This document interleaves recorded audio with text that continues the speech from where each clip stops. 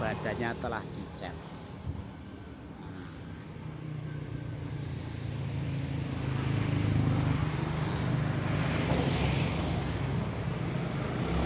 Nah ini para pemirsa bunglon yang sudah tidak bisa mulai malih tidak bisa berubah warna karena telah dicat.